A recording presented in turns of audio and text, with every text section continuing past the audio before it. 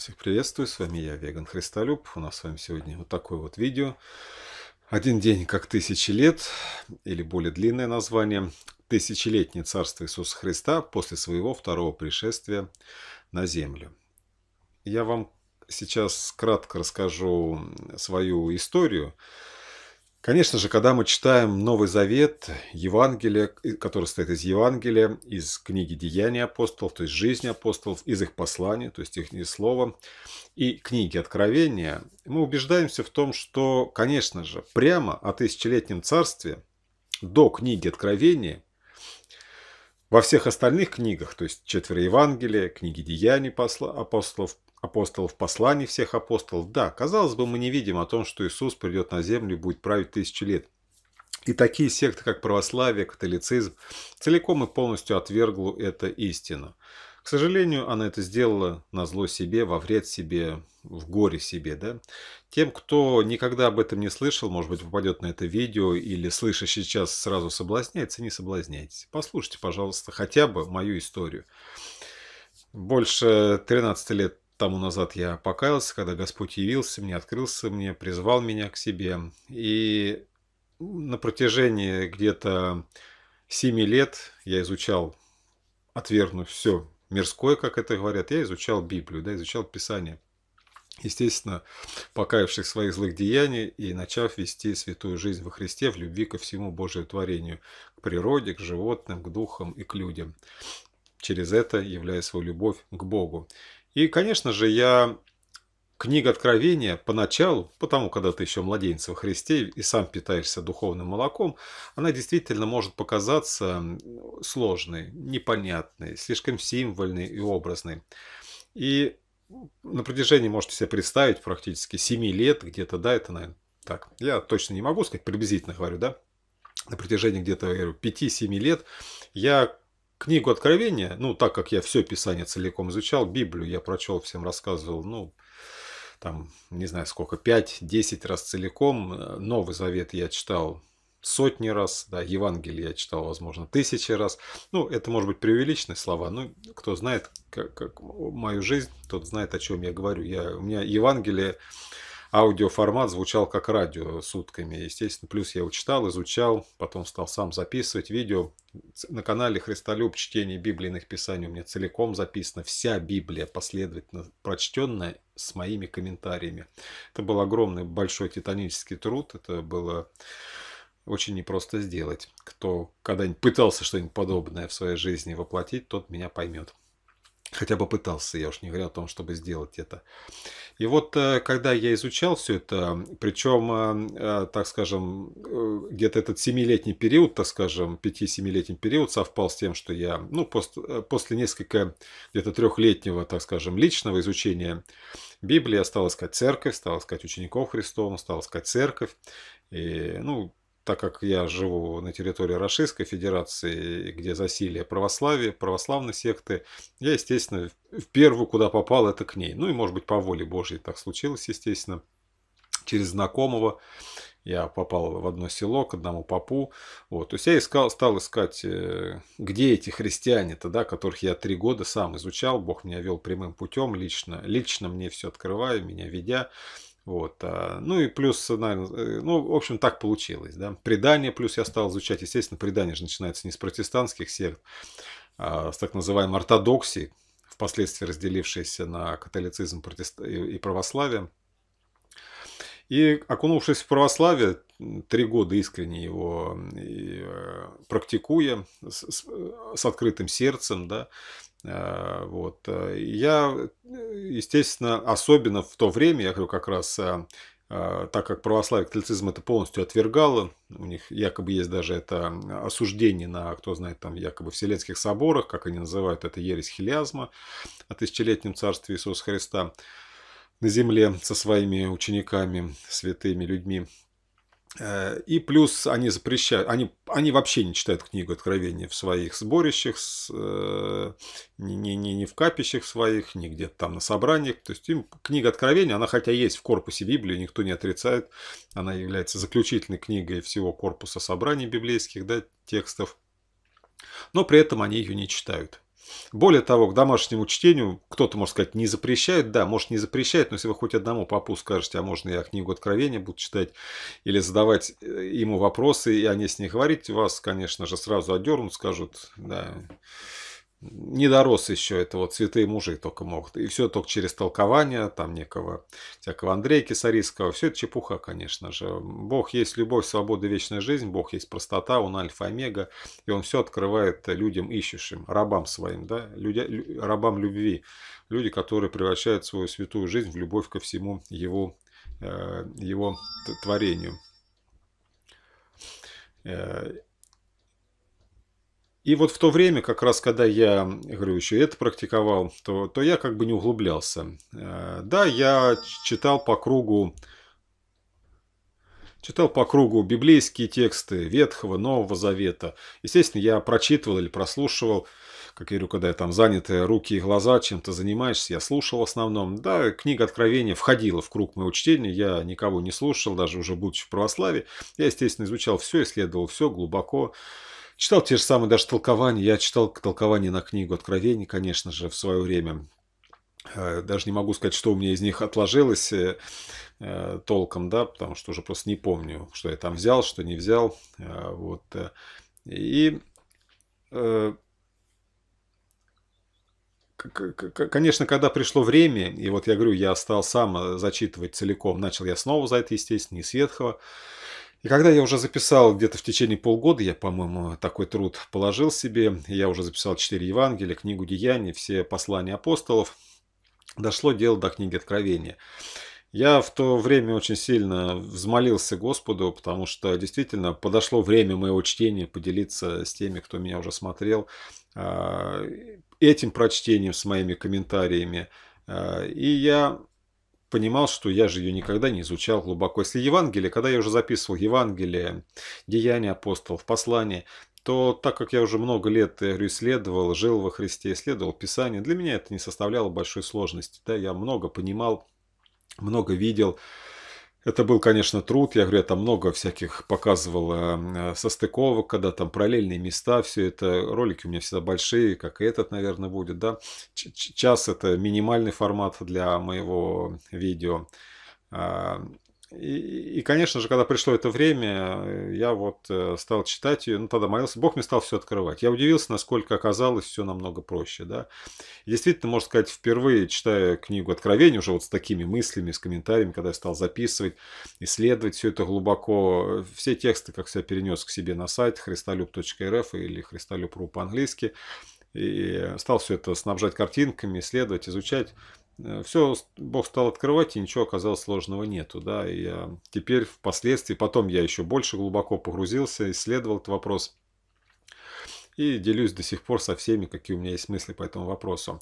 И впервые по поводу и вот этого хилиазма тысячелетнего царства я особо нигде, знаете, каких споров там не вел, особо не, не вникал там а, надо это, не надо, да. Но когда пришло время, вот, и в книге Откровения об этом четко сказано, да, я, конечно же, э, удивился о том, что мало кто об этом говорит, э, что что это вообще отвергнуто тем же самыми православными католиками. Но зная, насколько еретические, лживые, дьявольские эти секты, в общем-то, потом никаких сомнений в этом и и непонимание они все развелись. Было понятно почему, потому что они дети дьявола, и учение их не учение антихриста. И все мне стало понятно, да. Вот. И, конечно же, я принял эту мысль, книгу Откровения в полноте, что вот, да, оказывается, Иисус во второе свое пришествие это не будет полным вот, разрушением мироздания, будет великий суд. Нет, до этого будет еще дан второй шанс человечеству. Бог дважды придет на землю. Потому что при двух или трех свидетелях истина всякое слово.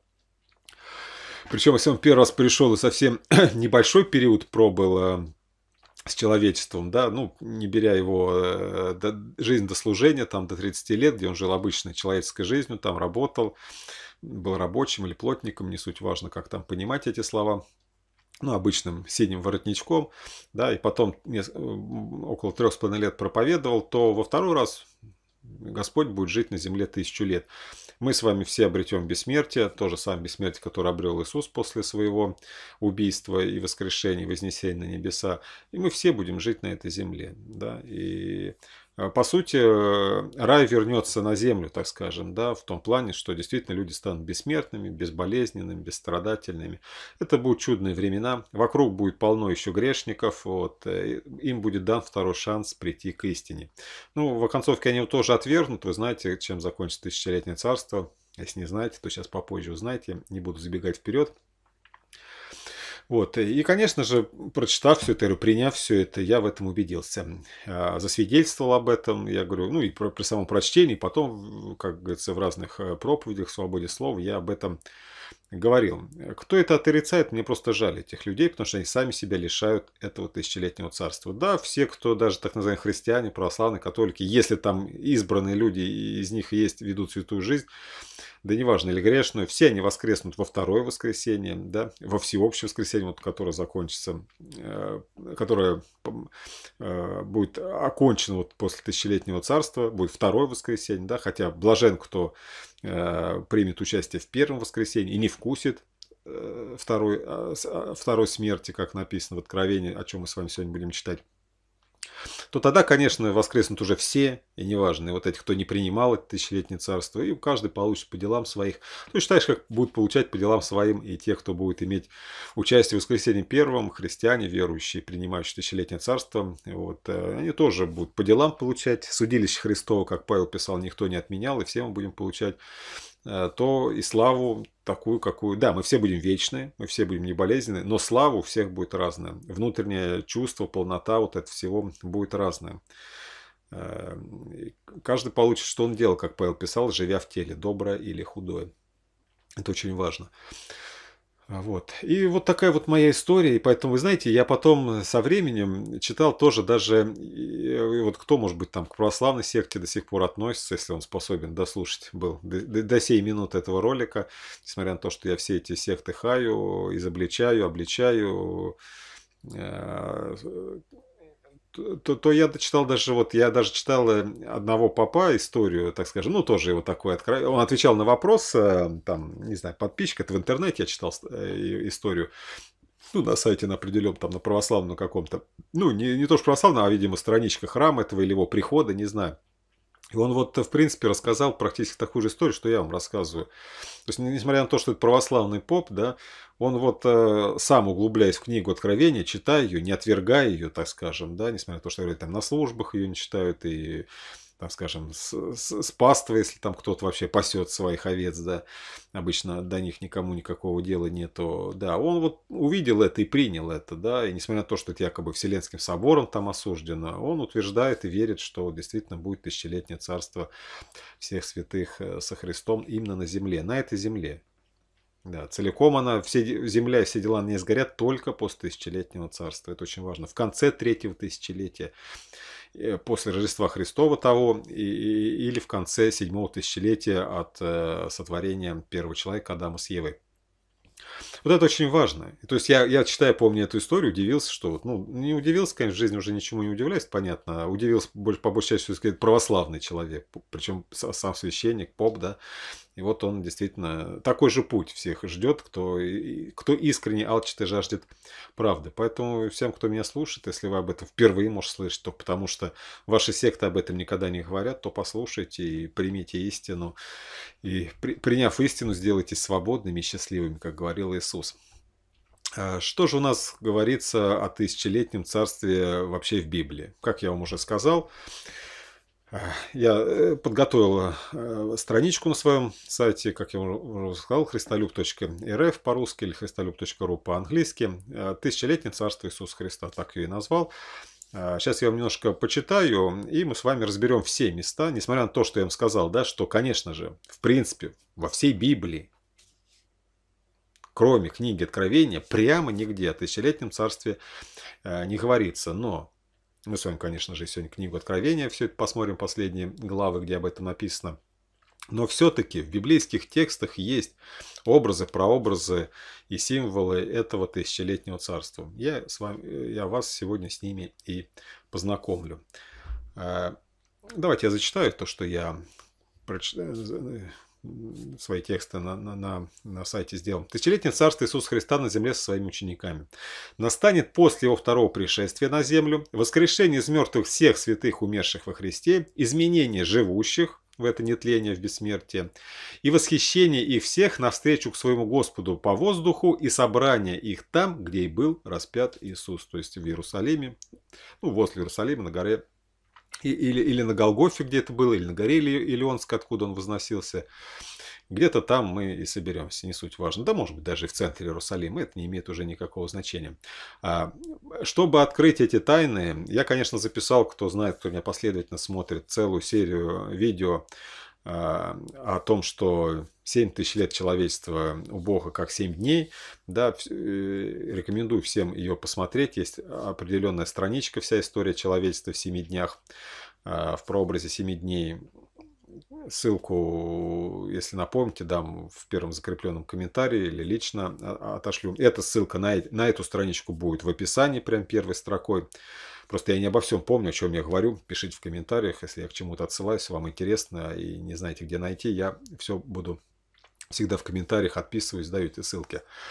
И, конечно же, все эти ключики, вот, э, касаясь в том числе тысячелетнего царства, конечно, раскрываются у нас благодаря Э, такому, такому принципу, или, как я говорю, ключику символьным приточным языком, что э, в Библии есть два места, которые нам помогают это делать. Первое – это 89-й псалом, ну, хотите, пятый стих, можете целиком прочесть, не пожалеете. «Ибо перед очами твоими, Божьими, тысячи лет, как день вчерашний». И апостол Петр в своем втором послании, как раз, где там речь идет о последних временах, пишет следующее – Одно не то должно быть сокрыто от вас, возлюбленные, что у Господа один день, как тысяча лет, и тысяча лет, как один день. Я в своих речах добавляю, как бы говорю, у Господа один день на небе, как у людей тысячи лет на земле. Вот. А, ну, вы, я думаю, уже те, кто принял истину, понимают, почему я так говорю. Можно и так говорить, это не суть важно. Можно не добавлять. А в каких местах Библии говорится о тысячелетнем царстве Иисуса Христа? На земле со своими учениками после его второго пришествия на землю, воскрешение всех мертвых во Христе, изменение всех живущих в любви ко всему его творению. А, ну, это я просто вам продублировал, зачитал, что у меня э, на сайте, ну, чтобы ничего не забыть. Первое, конечно же, что мы с вами узнаем, во второй главе книги «Бытие» читаем. Так совершены ну, вторая глава, это заканчивается такая, такой вывод после первой главы, где нам описано сотворение Богом неба и земли, всего живого на земле и прочие вещи. Да?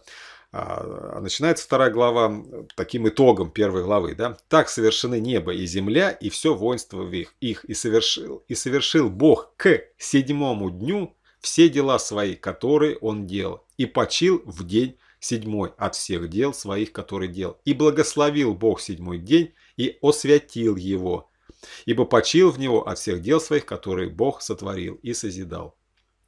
Ну, я пишу всегда э, к текстам, есть мой, мой серенький э, шрифт меньшим размером.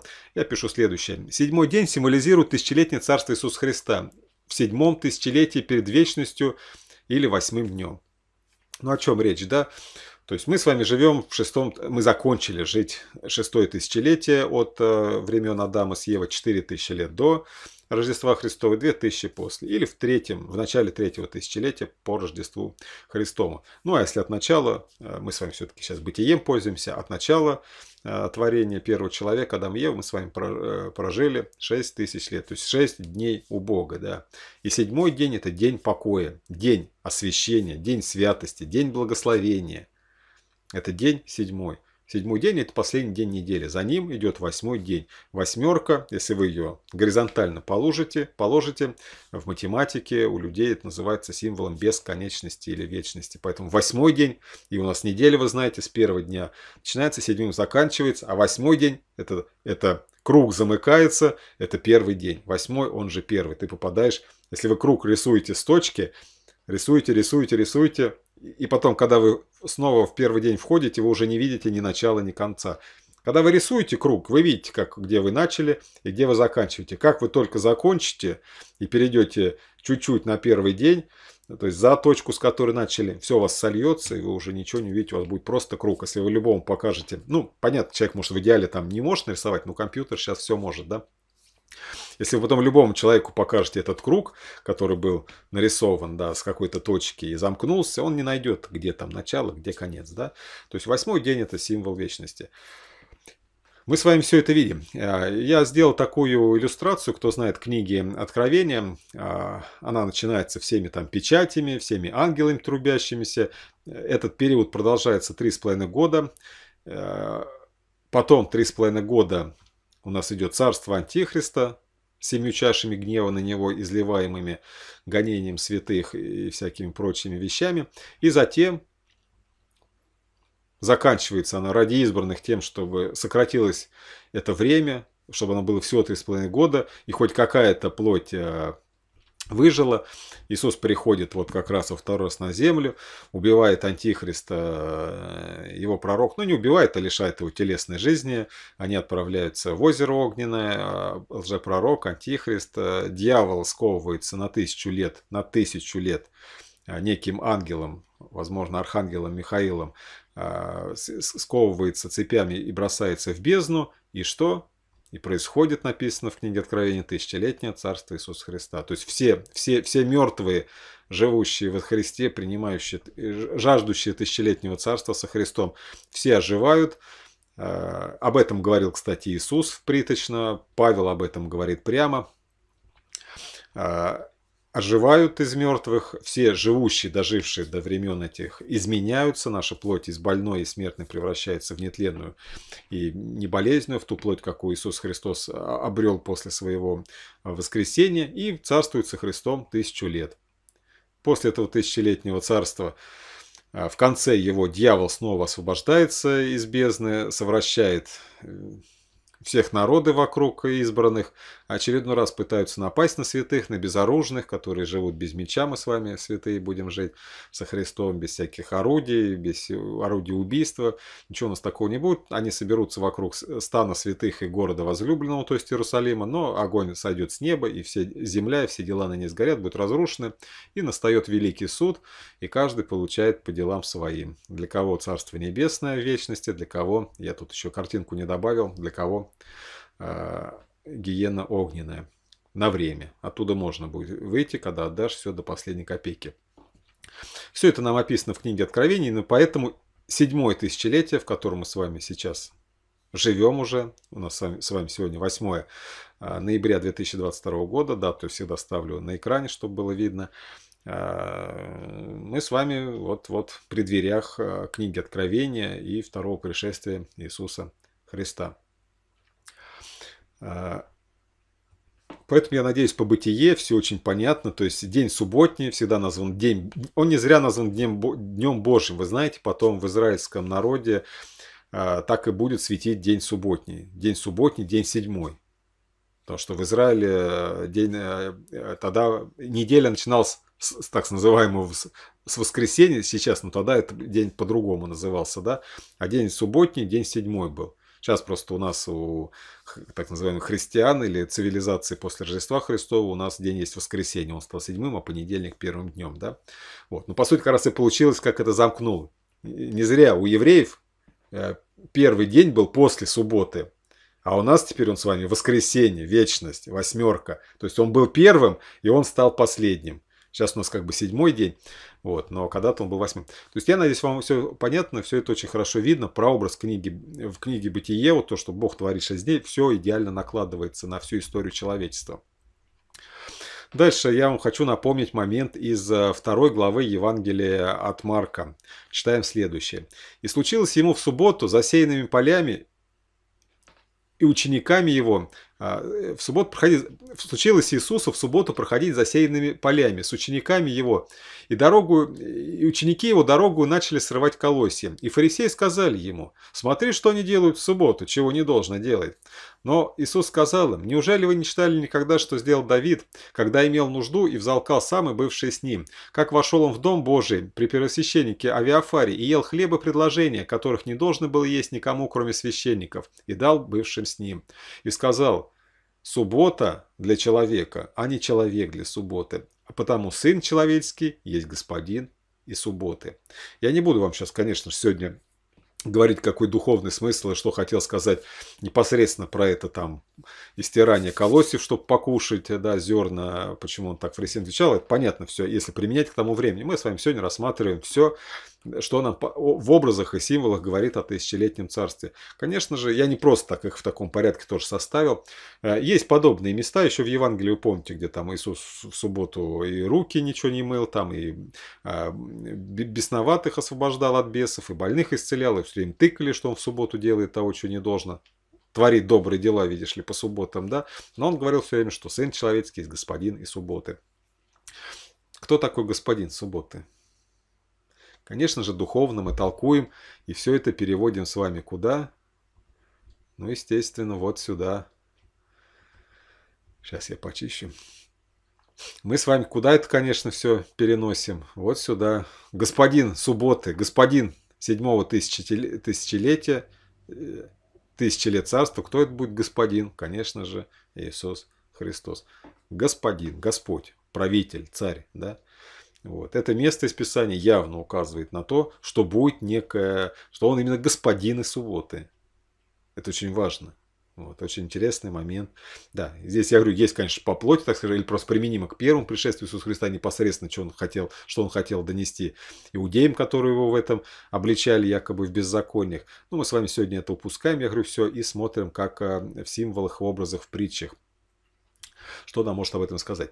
Я уже делал более подробный разбор, как я говорю, если вы посмотрите э, вот эти серию там роликов, я записал такую трилогию 7 тысяч лет э, как один день.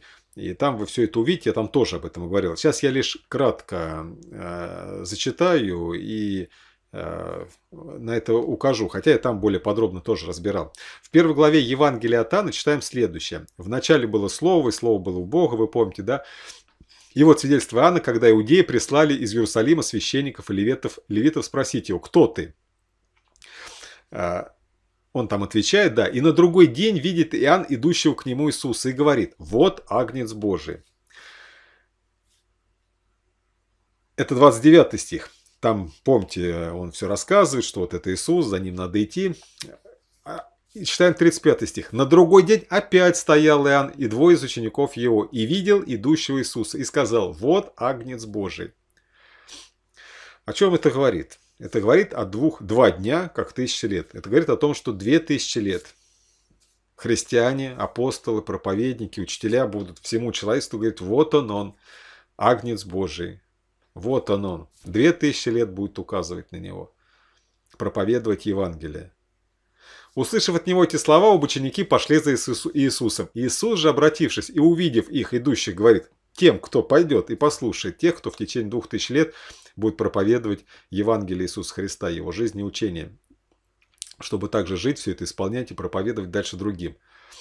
Иисус, обернувшись к ним, обратившись, идущих, говорит им, надо идти навстречу по воздуху. Что вам надобно? Они сказали, учитель, где живешь? Что им говорит Иисус? Пойдите и увидите.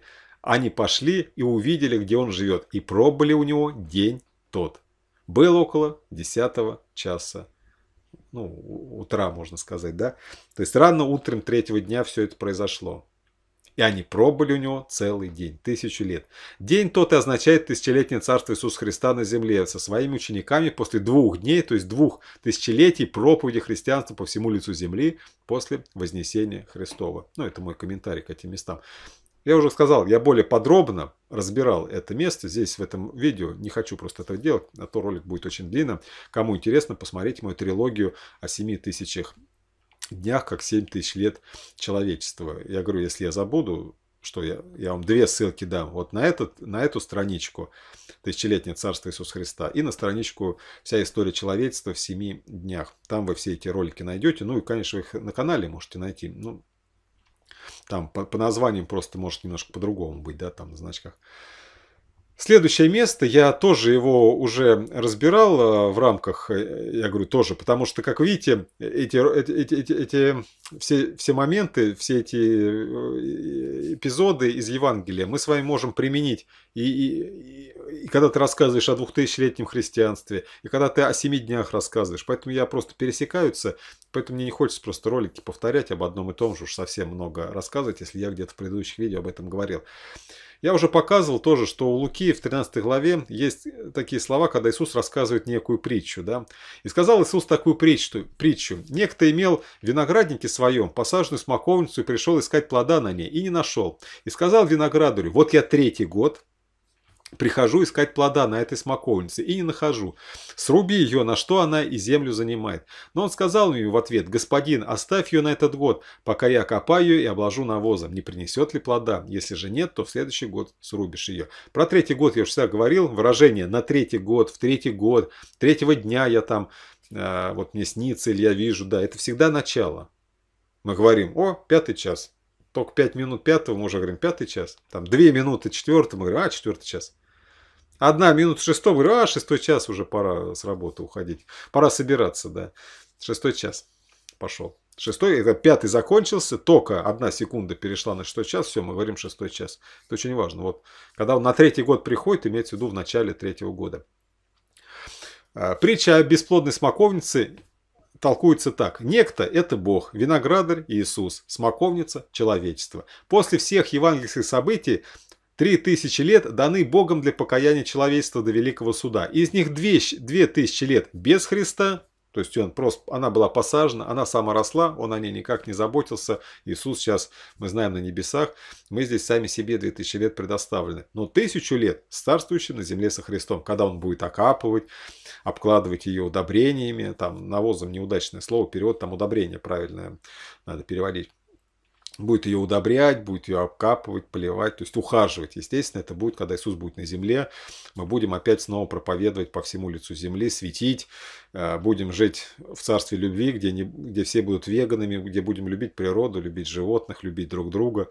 Никакого зла не будет, не будет у нас никаких ни армий, ни войн, ни государства, ни, ни, ни, ничего у нас не будет. Мы просто будем жить каждый вот сам по себе со Христом у каждого будет свой клочочек земли, и будем вот э, царствовать там в Иерусалиме. Э, да.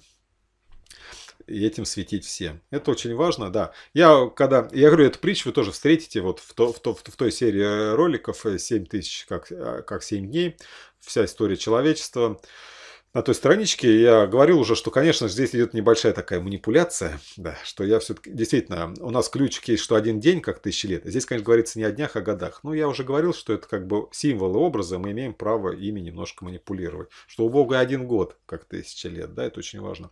Притча действительно показательная, прям говорящая, даже кричащая о том, что будет. Конечно же, я вам уже сказал, что если мы с вами не принимаем книгу Откровения, или вообще, если кто-то из вас задумывается о том, ну а почему же вот э, не сразу было это дано, почему Иисус все это не рассказал про тысячелетнем царстве, вы знаете, вот несмотря на то, что в Ветхом Завете, как говорят, столько всего там мессианских мест, как его называют, о первом пришествии Иисуса Христа, ну вот именно, мы же не найдем с вами ничего, в принципе, в Ветхом Завете о втором пришествии Иисуса Христа. Ну, не, не берем Даниила, да, где ему прямо были видения о последних временах, а, книга, которая была дана, дана была ему, чтобы запечатана была до последних времен. Более того, сам-то Даниил, как мы с вами все здравые люди понимаем, что пророки-то не сами, сами они немного чего понимали, того, что им видится.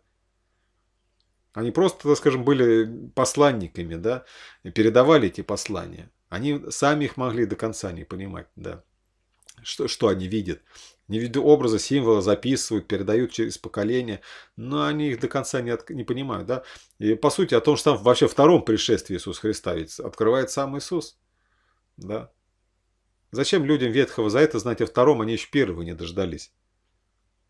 То же самое здесь, это все очень важно, да, когда Иисус, он говорит, вы там притчи-то уразуметь не можете, и они много действительно не понимали, да, вот. И более того, Иисус им говорил, что когда я уйду, придет Дух Святой и наставит вас на всякую правду и будущее возвестит. Это тоже очень важно. Да, и поэтому книга Откровения, ее, конечно, отвергают только глупцы. Это очень важно понимать. Вот.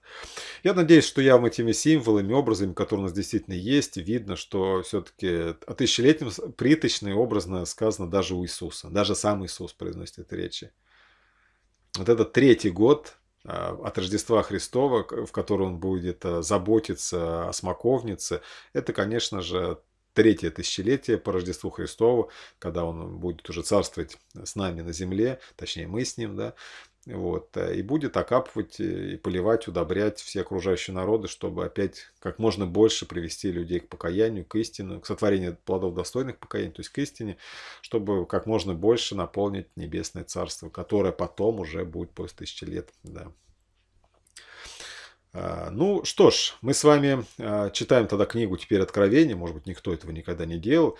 А, по-хорошему, конечно же, надо читать хотя бы с 19 главы, где описано его само второе пришествие. Книга последовательная, не зря вы видите все время этот мой слайд, который я показываю, да. Э, да, там все, все события происходят последовательно, потихоньку они переходят в, в, в, в параллельные, так скажем, потому что продолжаются на протяжении долгого времени. Вот. Но сама книга, конечно же, последовательна, и после всех ужасных событий, после трех с половиной лет открытия печати ужасных событий, после э, всех ангелов трубящих и тех ужасов, которые на голову человечески пойдут, после всех там войн, гонений на святых людей, репрессий, настанет, э, да, мирное время между царствами, но будут особо лютые гонения на святых людей, на божьих людей. И при этом еще на это царство Антихриста на блудницу будет выливаться семь чаш гнева Божьего, ну, для их вразумления, хотя там немногие покаются. И уже после этого Иисус написано грядет, это в 19 главе начинается описываться. Ну, мы с вами, ну, если хотите, я давайте вам прямо с 19 прочту сейчас, просто у меня на страничке с 20 я сделал, но надо было все-таки. Я просто, когда делаю э, на страничке какие-то места и выписываю, я прям как бы, как бы узко касаюсь, как сам я вас учу, ни, ни в коем случае не вырывать из контекста, когда вы что-то кому-то подаете. Ну, я это делаю для себя, как для пометок. Но, естественно, обращаясь э, к самой книге Откровения, э, читать все надо, конечно, я говорю, последовательно. Первый раз, если вы это делаете, второй раз, третий, это уже потом все глубже, глубже и вникать. Поэтому лучше, конечно, не с 20 читать, а как вы увидите, у меня всегда это можно увидеть по картинкам, читать надо вот с 19 главы. Картинка даже сама вам даст понять, откуда надо читать.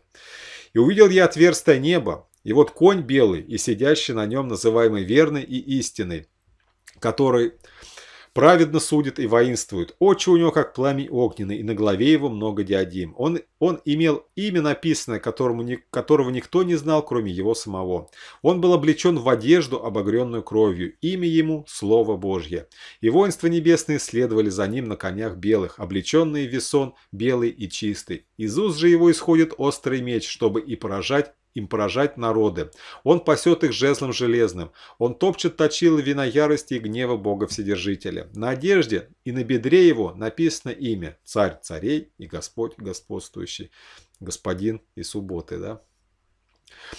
Это я уже добавил. «И увидел я одного ангела, стоящего на солнце, и он воскликнул громким голосом, говоря всем птицам, летающим посередине неба. Летите, собирайтесь на великую вечеру Божью, чтобы пожрать трупы царей, трупы сильных, трупы тысяченачальников, трупы, трупы коней и сидящих на них, трупы всех свободных и рабов, и малых, и великих. И увидел я зверя, Антихриста, и царей земных, и воинства их собранные, чтобы сразиться с сидящим на коне и с воинством его.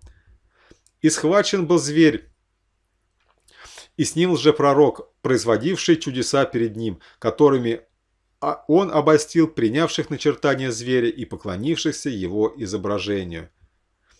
Оба живыми брошены в озеро огненное, горящее серое, а прочие убиты мечом сидящего на коне, исходящим из уст его, и все птицы напитались их трупами.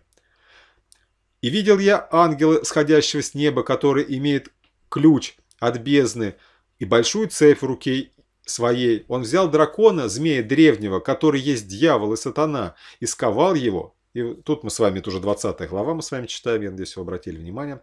Э, я говорю, там на страничке так и было. И сковал его на тысячу лет, и не зверг его в бездну, и заключил его, и положил над ним печать, дабы не прельщал уже народы, доколе не окончится тысяча лет. После же этого ему должно быть освобожденным на малое время.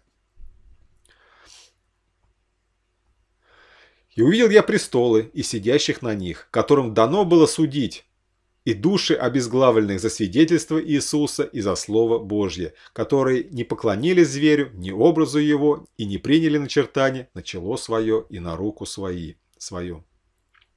Они ожили и царствовали со Христом тысячу лет. Прочие из, из умерших не ожили, доколе не окончится тысяча лет. Это первое воскресенье. Блажен и свят, имеющий участие в воскресенье первом. Над ним смерть вторая не имеет власти после тысячи лет. Но они будут священниками Бога и Христа и будут царствовать с ним тысячу лет. Сколько раз здесь сказано тысячи лет? Те, кто впервые это слышит, если вы состоите в каких-нибудь сектах православия, католицизме, протестантизме, который может быть тоже, я не знаю, там, протестантизм вроде бы не отрицает это даже наоборот, Основная масса, насколько я знаю, таких общеизвестных э, протестантских направлений, наоборот, это исповедуют. Многие даже чересчур фанатично и горячо. Да, но действительно, э, кто отрицает, тот отрицает просто истину. А вы задайте своим пастырям да, вот эти вот вопросы. А они вам попытаются, сами ничего не зная, зная только лжеучение православной секты, начнут вам что-то убеждать, что это там образы и символы. Где же образы и символы? Здесь без всяких образов и символов рассказано о всеобщем, о первом воскресенье, всеобщем для христиан, так скажем, для тех, кто в это верует, кто жаждет этого момента. Кто не жаждет, зачем он будет воскресать? Ему не нужно это царство. По вере вашей да будет вам. Поэтому как только не будут извращать, я думаю, что у вас, у кого есть голова на плечах, ум, чистый смысл в голове и доброе сердце, вы все это видите своими глазами. Давайте еще раз прочитаем. Для тех, кто пытается, пытается брыкаться и это отрицать. Они ожили. Мы с вами видим, никакого разрушения земли нету. Мы будем с вами царствовать со Христом, кто блажен будет, приняв, приняв участие в первом воскресенье, на этой земле. Она не изменится, она еще не уничтожится, несмотря на все апокалиптические события, описанные в книге Откровения, на все ужасы. Когда там половина э, населения Земли умрет, все живое в море погибнет, треть лесов и всякая трава сгорит. Чего там только не описано, да, мы с вами знаем. Несмотря на это, Земля не будет уничтожена все люди не уничтожат друг друга, несмотря на то, что будет ядерная война. Но земля потом очистится, и Бог не допустит того, чтобы она окончательно была уничтожена. Потому что здесь еще нам с вами жить, царствовать и править, и, и, и светить еще тысячу лет. Дьявол, будучи низвергнут с неба во время, во время воцарения Антихриста, три с половиной года будет на земле, прям в плотском виде.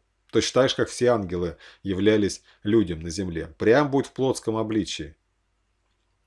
И уже с земли он будет закован цепью и брошен в бездну на тысячу лет. На эту же тысячу лет. Чтобы на земле люди хоть как-то выдохнули от него. А святые люди во Христе оживут. Ну и благодаря Иисусу и апостолу. Вот опять же, смотрите, в книге Откровения не сказано, что живые изменятся. Ну да, в книге Откровения это пропустили, упустили, как хотите. Ну, Иисус об этом прямо говорит, и апостол Павел еще прямее говорит. Кто не знает, у меня есть видео на эту тему. Если что, пишите в комментарии, я тоже дам. Мертвые будут воскрешать, воскресать, а живые во Христе будут изменяться. Здесь об этом сказано? Нет. Говорит о том, что это ложь тогда? Нет. Иисус в двух местах об этом говорил, и апостол Павел в двух местах об этом говорит. Четыре свидетельства о том, что будут живые изменяться прям вот не умирая. Прям бац, и все, и ты уже другой. Еще раз давайте прочитаем. Они ожили и царствовали со Христом тысячу лет на этой земле. Прочие же из умерших не ожили. А если к вам будут втирать туфту, что это якобы вот уже это вот, это вот когда Великий суд, нет, Тут, тут, тут никак, вот, вот, вот ересь православную, как говорят там соборы, изволися Духу Святому, и нам было, там святые мужи собирались. Нет, там собирались антихристы. Они осудили вещи, которые никак невозможно просто отрицать. Как они там не пытаются юлить или вам объяснить, что это вот, да нет, это вот великий суд. Где же, а что ж потом дальше будет описано? Еще какой-то великий суд. Ну, тогда все равно надо признать, что два великих суда. Что два воскресенья, оказывается. Если вы почитаете православные католические бредни вот об этой ереси хилиазма, вы поймете, насколько они заблудшие. Вы, вы же видите, как написано. Все четко и понятно. Они ожили. И то, это мы сейчас не вырываем, только мы же еще дальше с вами прочитаем обязательно, чтобы все увидеть. Вот от второго пришествия я вам начал с 19 главы. Очень важно. Я, возможно, даже добавлю. Э, ну, просто тут я где тысяча, тысяча, тысяча, поэтому я как бы на сайте э, вот так здесь помечаю, где, как говорится, к этому просто моменту все относится, да. Вот. А так, конечно, вы понимаете, что надо вот с 19 именно в Откровении читать.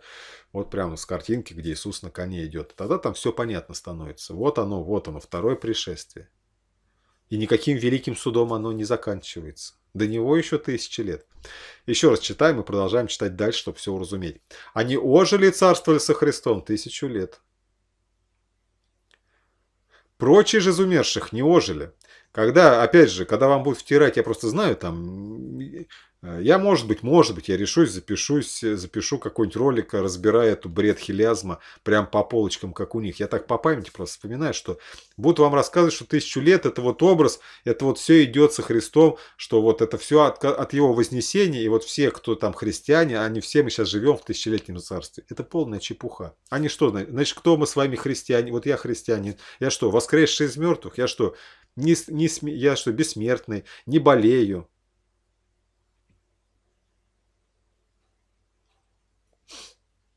А пришествие, которое было в 19 главе описано, его куда деть? Как вы читаете это духовно, как они любят, приточно, если это вообще описано реальной историей? Вы тогда и первое пришествие Иисуса Христа, наверное, тоже приточно воспринимаете. Он, может, не приходил тогда на землю? Может, это он просто пришел в сердце неких евреев, и они стали проповедовать истину? Может, так было? Может, это он у них в сердце там ходил, исцелял там больных. Может, его и не было на самом деле. Вы поймете, что это полный бред. Вот это вот так называемое осуждение православия, тогда это была ортодоксия, еще не было разделения на православных католик. Когда была осуждена, так скажем, ересь хилиазма, ересь тысячелетнего царства Иисуса Христа на земле, еще не было разделения православия и католицизма. Ну, оно по сути было, конечно, Рим от Византии уже далеко, так скажем, отстоял. Папа Римский там уже отдельную, тогда уже имел такую, хотя он был одним, одним из, да, так скажем, наместников конкретной области церковной, да, там церкви, но уже там возвышался до небес. Вот. Но на самом деле это было все, этот собор был, когда еще официального не было разделения. Разделение произошло, кто знает, в начале второго тысячелетия, в тысячу каком там, 69-м, что-то такое, да, году. Формальное уже, когда они друг друга еретиками там обозвали, хотя они сами еретики, обе эти секты, обе этих, обе этих ветви ничего у них не складывается. Вы начнете читать и поним... будете разбирать эту ересь хилиазма, которую они якобы осудили, понимать, что они просто прямо против... Против... противоречат книге Откровения, где описаны реальные события, которые будут происходить по плоти в мире. Они ожили и царствовали со Христом тысячу лет. Прочие же из умерших не ожили. Это не всеобщее воскресение. Доколе не окончится тысяча лет. Говорю, в тот бред, который будет читать, они не могут. Более того, там текст написан, там задать-то вопрос некому. Вы можете задать вопрос только своим попам, пастырям, да, всем этим священникам. Вот пусть они вам по полочку, все какие у вас нестыковки с их учением, пусть они вам объясняют, что такое осуждение ереси хилиазма по полочкам, по пунктам. Вот то-то, то-то, то-то. Вы скажете, а вот это вот. Вы увидите, какие там несостыковки. С, книгой Откровения вообще не Как будто ее не было, или они ее выбросили на помойку, или они ее не знали, или они ее еретической тогда именовали. Мы не знаем до конца, почему они это сделали. По тупости, по своей погрешности. Вот. Это первое воскресенье. Блаженный свят, имеющий в воскресенье первое. Над ним смерть вторая не имеет власти. Но они будут священниками Бога и Христа и будут царствовать с Ним по плоти здесь тысячу лет, потому что Он идет прямо с небес. Когда же окончится тысячи лет, сатана будет освобожден из темницы своей и выйдет обольщать народы, находящиеся на четырех углах земли Гога и Магога, и собирать их на брань, число их как песок морской, и вышли на широту земли и окружили стан святых и город возлюбленный. Ну, я вам уже произносил, в принципе, эти речи. И не спал огонь с неба от Бога, и пожал их. А дьявол, прельщавший их ввержен в озеро огненное и серное, где зверь и лже-пророк. Туда, куда были лже, э, зверь и лже-пророк э, сброшены, туда же теперь отправляется из бездны, побывав немного опять в э, в тысячелетнем царстве Иисуса Христа на земле дьявол, снова куда отправляется? Не снова, а впервые, но туда, где зверь и лжепророк, туда к ним отправляется. Ну и все, кто, в общем-то, так жили, да, неправедно. Во веки веков. И что мы с вами дальше читаем? 21 главу. Ой, еще, еще, еще, еще 20-ю дочитываем. Да. «И увидел я, и вот, когда уже огонь с неба, земля разрушена, все бытие свернулось, все, время пропало, мы попадаем в вечность, и увидел я великий белый престол сидящего на нем, от лица которого бежало небо и земля, не нашлось им места. Все, все разбежалось, нету ни земли, ни неба, одна вечность, да одна, один такой мрак или хотите свет наоборот. Ничего нет. Ни земли, ни неба. Все то сгорело, а нового еще нет. И увидел я мертвых, малых, великих, стоящих пред престолом. И книги раскрыты были, и иная книга раскрыта, которая есть книга жизни. И судимы были мертвые по написанному в книгах сообразно с делами своими. То есть со своей жизнью. Тогда отдало море мертвых, бывших в нем, и смерть, и ад отдали мертвых, которые были в них. То есть все предстали на суд Божий. И судим был каждый по делам своим. И смерть, и ад повержены. То есть в это озеро огненное, в некое, в черную дыру. Все, и смерть, и ад, уже ничего не существует, повержены. В озеро огненное – это смерть вторая, в которой святые не имеют участия, которые в первое воскресенье воскресли. И кто не был записан в книге жизни, тот был брошен туда же, в озеро огненное, где лжепророк, антихрист и сам дьявол. И что мы с вами читаем? 21 глава. «И увидел я новое небо и новую землю, ибо прежнее небо и прежняя земля только сейчас миновали». Значит, Иисус будет править не на новой земле и на новом небе, а на той прежней, на которой мы сейчас с вами все живем. Нам еще здесь жить с вами третье тысячелетие по Рождеству Христову или седьмое тысячелетие от времен первых песен Адама с Евой. И увидел Иоанн святой город Иерусалим, новый, сходящий от Бога с неба, приготовленный как невеста, украшенная для мужа своего. Все, дальше я вам вот творю все новое. Я думаю, дальше, если вы захотите, дочитайте сами 21, 22 главу Откровения. Простите. Откровение Иоанна. Все это можете сделать на моем сайте, найти книгу Откровения все там почитать, ну или вот с этой странички о тысячелетнем сайте, здесь по ссылкам всегда можно э, переходить. Вот такое вот видео. В принципе, это все, что я вам хотел сегодня сказать, показать, потому что я знаю, что кто-то, для кого-то это такое же откровение. Вы знаете, как я вам сказал, 7 лет, ну, от 5 до 7 лет христианской жизни, свой первый новоначальный младенцем во Христе, подростком во Христе, потом отроком, юношей, да, молодым мужчинам. Сейчас я уже старец во Христе. Да, а тогда я тоже все познавал потихоньку, мне тоже были все эти откровения. Новое, что думал, ой, кажется, все знаю все понимаю. Нет, видите, еще, еще, еще. Вот, поэтому я надеюсь, что вам это все стало теперь открыто. Тем, кому запрещали читать книгу Откровения, тем, кто сам читал, я надеюсь, сегодня у вас появится желание ее прочитать. Прочитайте ее сами. Я говорю, рекомендую читать на, моей, на моем сайте. Там все с картиночками, с выделениями, с, с диалогами, со шрифтами, с разными. Все понятно, где начало, где конец какого события. Все, сейчас я вам ее прорекламирую. Все понятно, все видно, откуда читать, где что начало, где конец. Все легко. Я думаю, что вам, что на телефоне все, э, мне Олег, брат во Христе, помог когда-то не помог сделать целиком для меня этот новый сайт. Вот, очень удобно мне в нем работать. Вы все увидите, он под мобильник все легко, отлично складывается, все удобно читать. Как видите, все с иллюстрациями. У вас будет визуальное восприятие лучше, у вас будет все это в голове лучше откладываться с событиями, с цифрами, с последовательностью. Вот, все будет понятно. Вот такая вот у меня книга. На, на, на страничке, которая называется... Я вам сейчас ее, ладно, покажу. Э, есть страница «Апокалипсис. Конец света. Откровения». И вот на ней у меня здесь пересылками собраны все а, другие странички. Вот 7 дней, 7 тысяч лет жизни людей на Земле, история человечества. Если вы перейдете вот по этой ссылке, то вот это, это та страничка с теми видео, которые я вам рекомендовал. Это где я рассказываю о том, что 7 там, тысяч лет это 7 дней. Да? Здесь все найдете видео, тоже ссылки. И здесь же есть э, пересылка на страничку «Последняя седьмина» или «Семилетие». И вот на этой страничке тоже здесь вы все интересненькое найдете. Ну а сама эта иллюстрация тоже вот вы найдете, она вам поможет кратко воспринимать вот книгу Откровения, я думаю. вам тоже это будет назидательно, полезно, чтобы схематически видеть, как книга Откровения, как события в ней раскрываются и к чему ведут. Я думаю, что все это благодаря всему этому материалу вы все просто очень хорошо уразумеете, поймете и будете все легко и правильно воспринимать. Так что вот так вот. Вот такое у меня для вас сегодня видео. Я надеюсь, вам это было полезно, все назидательно, информативно.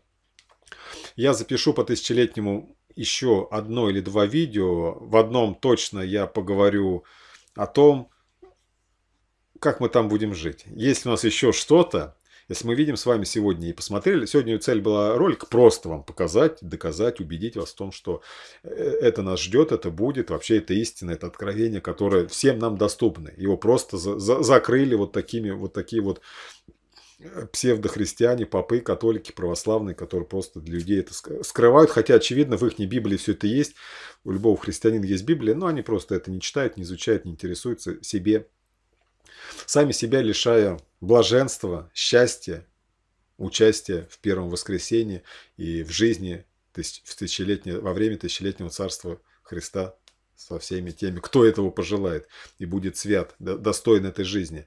Вот. А, но я запишу видео, в котором я скажу, можем ли мы что из других, из пророков э, взять параллельные места, где нам раскрыто, что будет происходить в эти тысячелетние царства. Есть ли смысл вообще сильно туда ковыряться и задуматься, если все мы там все равно очутимся, тогда все увидим. Есть ли смысл в этом ковырянии? Такое видео я еще точно одно запишу. А, третье там у меня под сомнением, ну, пока подумаю. Вот. Может быть, вот третье видео будет что-то типа разбора а, православного католического бреда, который отвергает эту истину о втором пришествии Иисуса Христа и тысячелетнего царства на земле Его, воскрешение всех мертвых во Христе, изменение всех живущих во Христе, да. Возможно, я сделаю такой разбор, чтобы просто все это показать. Ну, ссылаясь опять же на первое видео. И все, будем идти по книге Откровения. Ну, опять по тем же самым местам, по 19-20 э, глава. А, где будем видеть, что все это просто не состыкуется, просто все это противопоставляется, более того. Вот, все это ложь. Так что вот так вот. У меня на этом все. Лепите лайки, если вам нравится мое видео. Подписывайтесь на канал, кто не подписан. Жмите на колокольчик вечных уведомлений, чтобы получать их новых выходящих видео. Поделитесь этими роликами на своих э, ресурсах, э, в своих соцсетях, со своими друзьями, знакомыми, близкими, кому желаете блага, кого хотите видеть в небесном, в тысячелетнем царстве, прежде всего, ну а потом и в небесном царстве Иисуса Христа. Я с вами на этом прощаюсь. Всем желаю, всем желаю счастья достигнуть и быть, встретиться всем нам в тысячелетнем царстве Иисуса Христа.